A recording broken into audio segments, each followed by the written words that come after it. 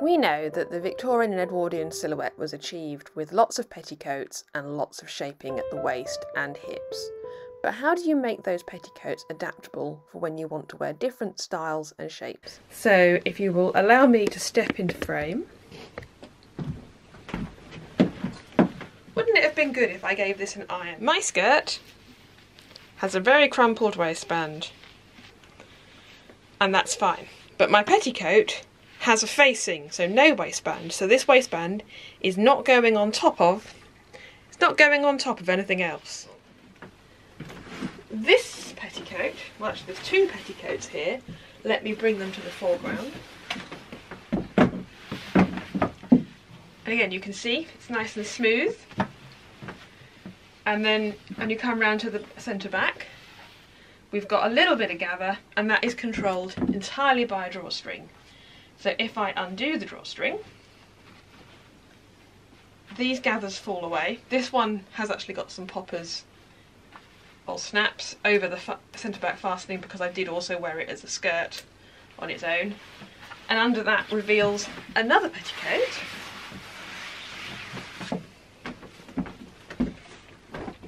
Which is finished off in the same way. So there's a drawstring here there's a tiny bit of gather because this is quite a narrow petticoat, there's not a lot of fullness. And a very smooth, flat front. Fact, let's bring that even closer, which will mean dislodging a dog. Come on. Thank you. So this has got a very smooth finish. And then from this point here, this is where the fullness of the petticoat is. So this is fitted, this is smooth and then here there's a little bit of gather.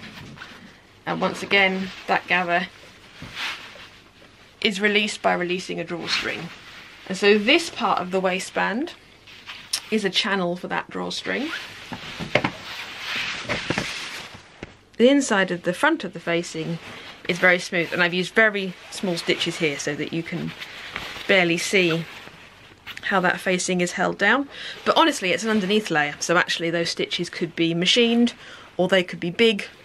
They don't have to be invisible. This lady's a little heavier. So this petticoat was actually finished with a standard waistband like you'd expect on a skirt because it was pre my experimenting with this style. So I've taken that waistband off and I've put the petticoat on over a fairly substantial pad, bit of padding. And I've pulled the excess in into some pleats but I don't want it pleat, I want it to be gathered like the others. So once again my actual facing will be fitted for the front panel and this side front panel. But I think the remaining see how many I think that's three panels. Yes no two. These two panels front panel, side front panel, side back panel, back panel are all going to be brought in, drawn in with the drawstring. But I want to sort of reshape the waistband a bit first because at the moment it's sitting a little bit low at the front, the, drip, the skirt, and a little bit high at the back because it's the hemline, because it's going over this padding. So first of all, I'm going to put those temporary bit of pleating in place. Like that. Uh, I'm not going to get too hung up on getting them to match, I just want it to sort of fit snugly. Like that. I'm going to put this bit of elastic around the waistline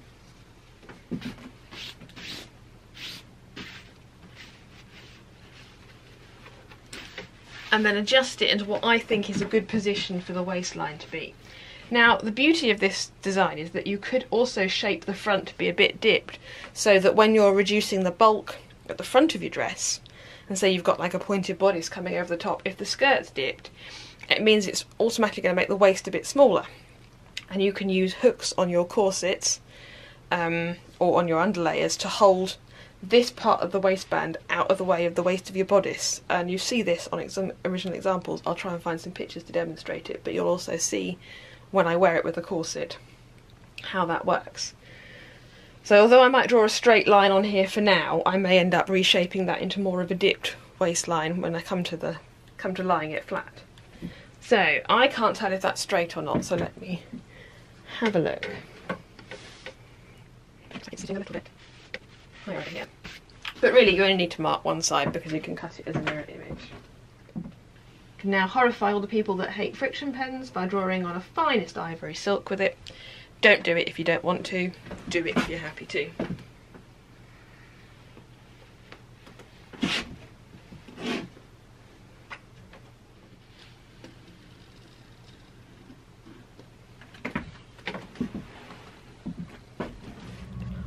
Alright, so now you can see everything in the flat. This is my centre front, and I've pinned the seams together to get a vague feeling of symmetry.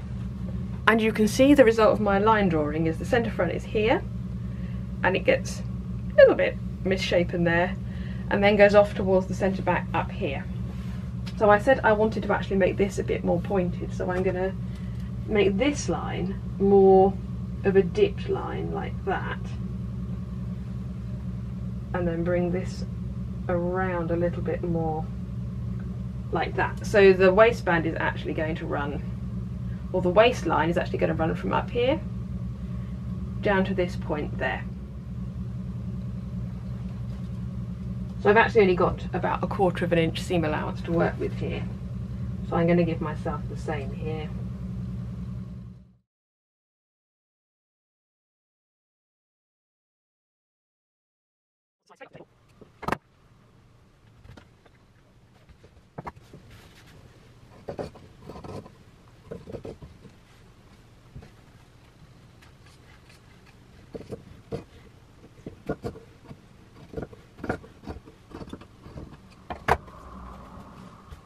And now I can cut my facing. Now I happen to have some leftovers from when this petticoat was originally made.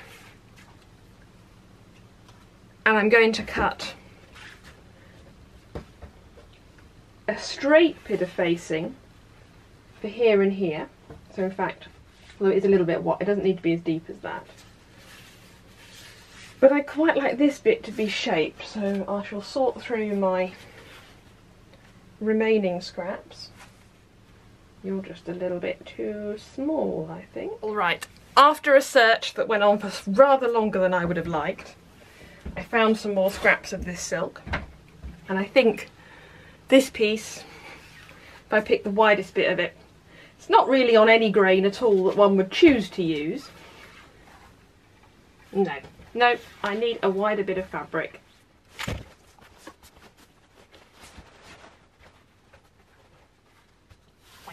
Finally, we got there. And I'm so sorry, this is where my head obscures everything I'm doing.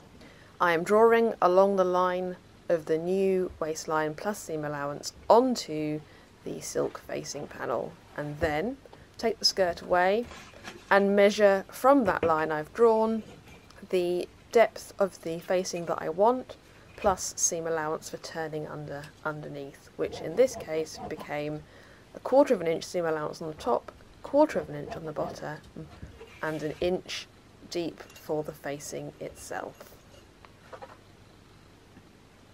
And once that is all marked out, I pin the two layers of the silk together and cut out the shape of the facing making sure that I'm keeping the body of the petticoat out of the way so I don't cut through that accidentally. I'm so sorry, this overhead camera view was meant to make everything clearer and instead I just obscure it with my big greying haired head. And once again I'm obscuring your view, this time cutting two straight strips of silk to become the drawstring and facing at the centre back, making sure that it's the same length as the side back and back panel um, but also making sure that there's a little seam that fits with the angle of the front facing so that's what I'm drawing here. And then this also gets cut down to the same width as the front facing so an inch for the facing and a quarter of an inch seam allowance for the top. And a quarter of an inch seam allowance at the bottom and then just drawing a line along there and cutting it out. This is fairly simple as it's really just two identical rectangles.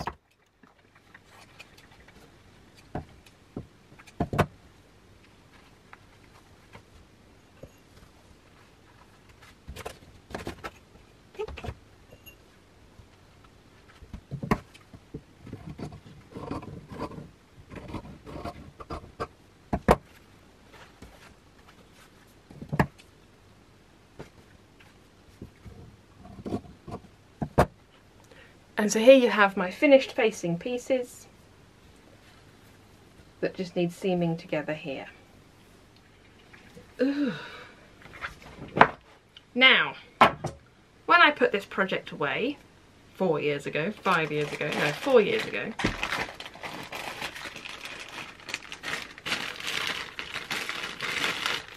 I deliberately kept the silk thread and the bobbin that I'd filled with silk thread separate from all the other ivory silk thread I have because I knew I'd be coming back to finish it one day. So there we are. That was a nice surprise, wasn't it? So I can put the bobbin back in my newly serviced Bernina. What sort of needle do we have in there? Oh, you feel all right. I was worried recently that this machine was in need of some major work because it fell over, but fortunately the sewing machine serviceman, despite saying he may have to take it away, worked wonders.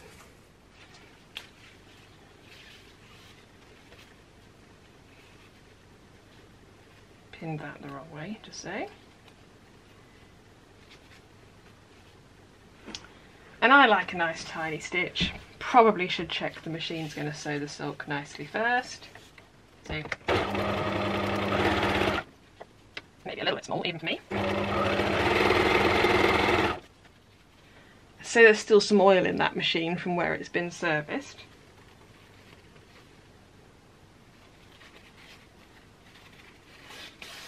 But it's stitching just fine.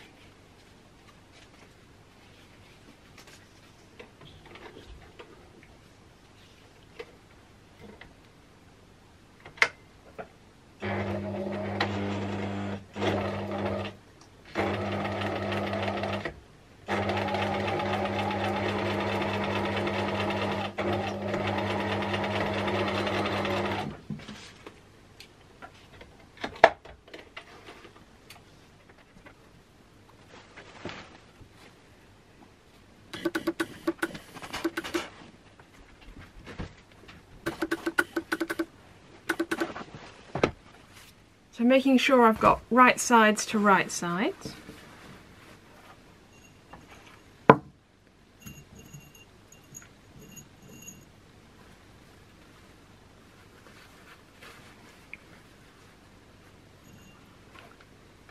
And I'm not so sure about my little sort of swan neck shaping going on here, so I might flatten that curve out a little bit.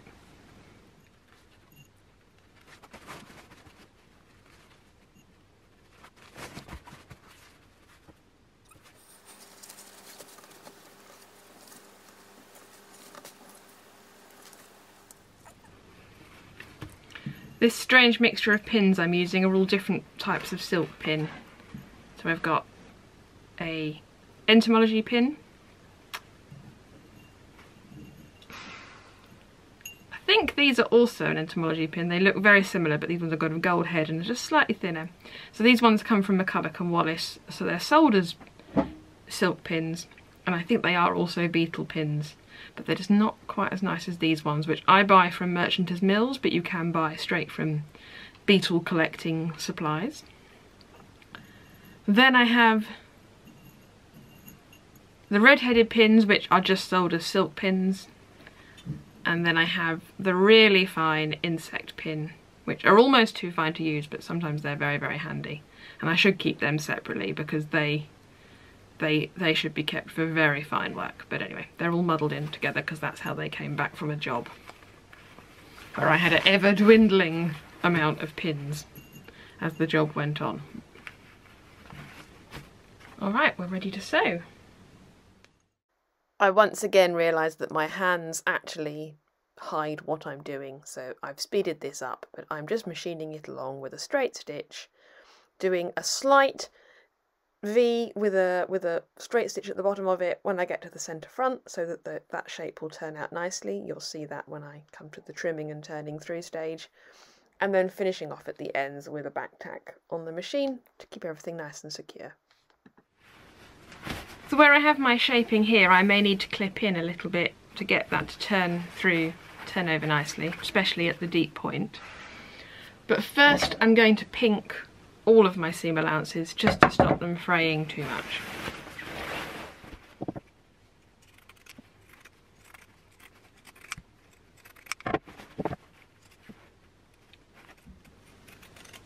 It's quite tough to cut through some of the seam allowances of the actual skirt because I French seamed them, again because it was a customer's job. And then since then I've made my own petticoats and I've just straight seamed them and pinked them and I think you actually get a much better, neater, smoother result. So unless you've got a very, very frayy fabric, I would actually recommend keeping your seams as small and neat as possible and just pink them rather than French seam them.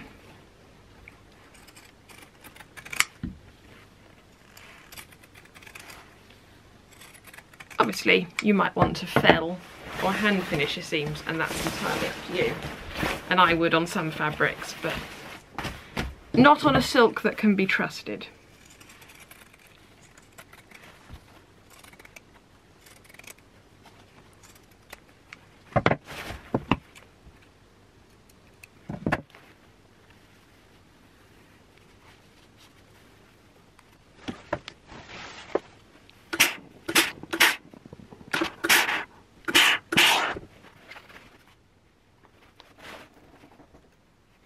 I'm just pressing the seam allowance of both the facing and the skirt open here so that when I press them all down into the skirt I get a nice shape where I've got that little inverted V and it just makes for a neater, flatter finish.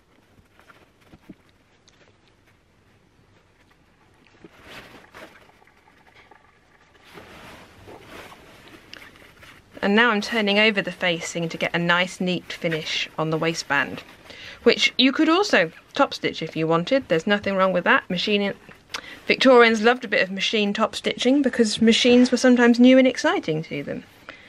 But unless my waist unless my facing doesn't sit nicely I will probably just leave it un untop stitched Some people don't like to steam silk, especially silk taffeta. As this skirt has had rather a mixed life, I'm not too concerned about it. But if I was starting anew and afresh, I might be a bit more precious with it. I've got to that little little sweetheart of the centre front. Oh, I'm quite pleased with that now.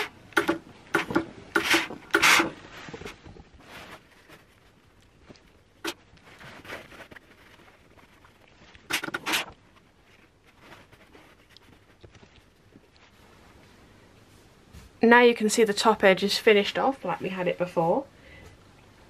And now I need to turn the inside raw edge in to neaten everything off. And it's also important at this stage to put whatever you want to use as a drawstring and fasten it inside the drawstring area um, so that you can bring that end out here.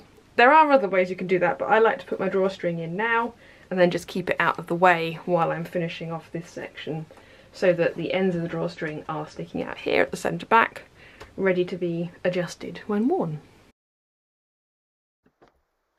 So I'm just turning in a quarter of an inch seam allowance, but also making sure that it stays a nice smooth pretty shape of my facing and pinning it in place. Anchoring it to those seam points so that I can be really securely stitched down there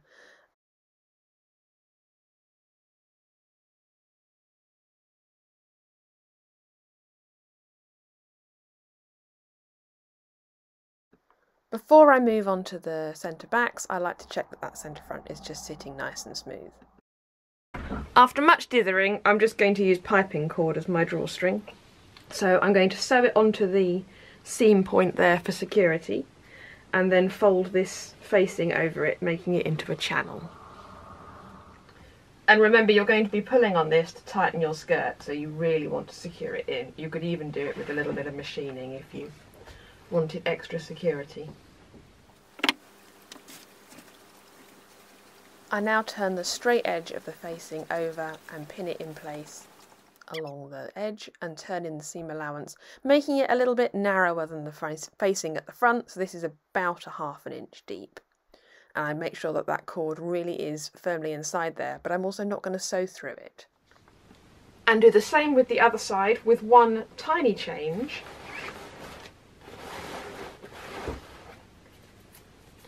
Because I've got the remains of a little placket here, I'm going to finish this off neatly and then I want my drawstring thread to come out of a hole in the petticoat here. So I need to do a little worked eyelet first here. I make the hole about a quarter of an inch away from the top edge and the placket with my awl and then using a slightly thicker white silk thread held double work an eyelet all the way around that hole making sure that all the raw edges are covered up nicely and so your drawstring can travel through securely and not damage the pull at, damage or pull at the silk.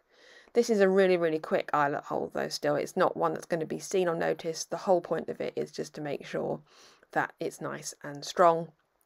And yeah, that really is the point of it. It just needs to be strong. It doesn't need to be beautiful.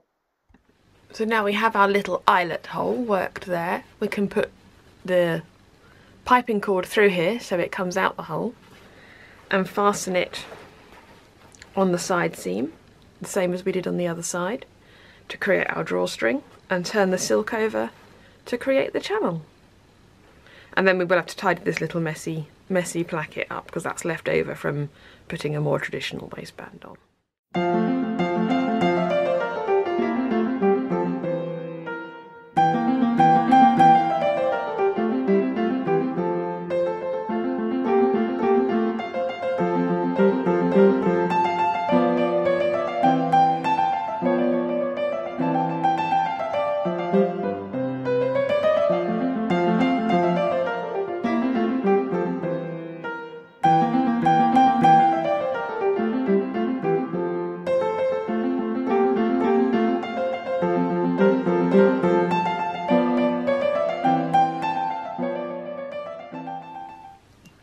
Because that was far too fiddly for you to see what I was doing, the end of the facing is turned in here and is going to be whipped onto the edge of the placket. And I'm going to have to do a little bit of hand sewing there where the placket, because that's also been hand sewn on previously, is coming off. And then a little hand finish here along that raw edge. And then ultimately that will mean that my drawstring can pull up tightly like that and correspond with the drawstring on this side. And because this side is coming over this side, that's why that's why this could come out at the end of the end of the facing and this one needed to be set back a little bit. Now you don't need to have a placket on the back of your petticoat, no one will see that necessarily. But because this is a petticoat that had previously had a traditional waistband, it was there and I didn't feel like taking it off because that neatened everything up. So now you can hand sew, or now I can hand sew along the inside of my facing all the way around. Of course, it could also be machined, as I said before. The Victorians loved a bit of machine stitching if it meant they could try out their new toy. And no one's ever going to see this as an underlayer, but I'm going to stick with the hand sewing for now. And that's using my fine silk thread. I have an incredibly tiny needle, probably too tiny, and just to make sure that the seam allowances from here don't come pulling out with the drawstring, I'm going to do a little whip stitch down the edge of here first and then start sewing along the waistline. So now I'm anchoring my thread onto that seam allowance at the back of the skirt. So the stitches are going to be very close together because I want the drawstring because I want the drawstring to be very strong but I'm only going to take one strand if I can of the silk below so that it doesn't show through too much. Already I'm getting a knot which I don't want. Alright.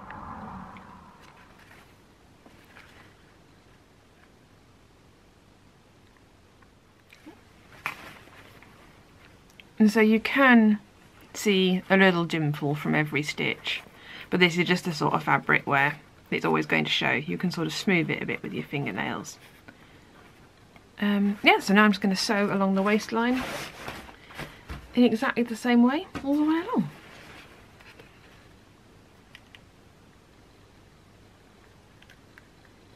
Or you can take a less, you can take a smaller stitch than that.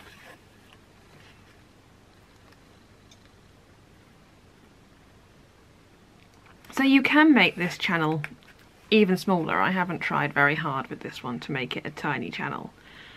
But it, you know, it, it does make a sort of smoother pull for the drawstring if it's a small channel. But equally, it keeps down the bulk. But this isn't a particularly large amount of skirt that's going to be gathered down into my waist. If you had a petticoat that maybe had much wider panels, so maybe you had a shaped front panel and then the two panel back panels of the petticoat were maybe large rectangles or large yeah or large squares which means you have more fabric to gather down into the waist. You might want to make a tighter channel. Or you may even want to gather some of that fabric down first and then put a drawstring in so that when you're pulling the drawstring to reduce it down for the waist, you're not having so much bulk in it. I don't know whether I've explained that clearly, but you definitely see examples of both on 19th century skirts and petticoats. Oh, I'd always heard black on black's bad for filming, but ivory on ivory is not great either, is it? Let's move and see if we can give you a better bird's eye view.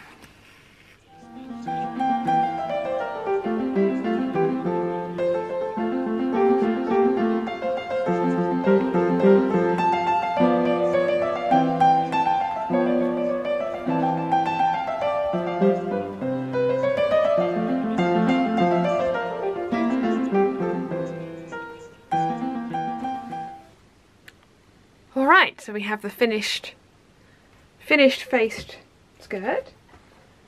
See the inside of the facing there. It's the inside of the centre front and the outside of the centre front and then the outside of the channel, the inside of the channel and the right hand side of the skirt with the drawstring coming out and the left hand side of the channel with the drawstring coming out of the eyelet hole and there's the placket there. There are some hooks and eyes on the centre back and now we can have a look at it on the body or on the stand.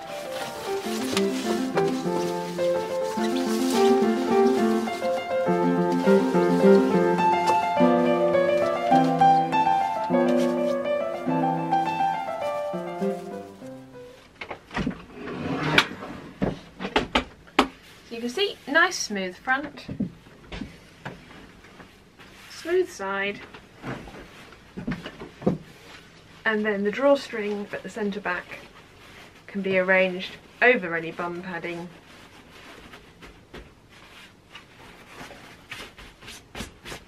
And because it's taffeta it's a little bit chunky but it doesn't have to be worn directly on the waistline so that when your skirt waistband sits over the top on the actual smallest part of the waist you're not adding the bulk of any waistband there. So it's nice and smooth over the sides and slightly dipped at the front. And you can also see it on me, worn over the same padding and with a corset. And because it is a drawstring, the beauty of this means if you want to wear it without the padding, it will still fit. And if you want to wear it without the corset, it will still fit.